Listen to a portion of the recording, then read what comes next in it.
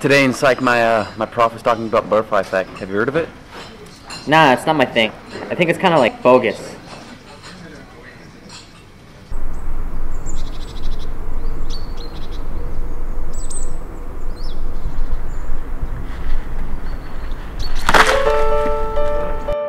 Really? I think it's kind of cool. I mean, like one thing can lead into something totally different. Yeah, I understand it.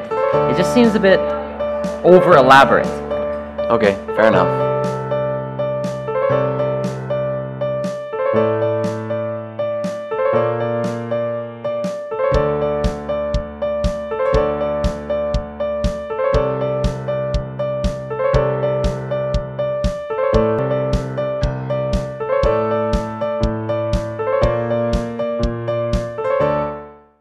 What you guys talking about?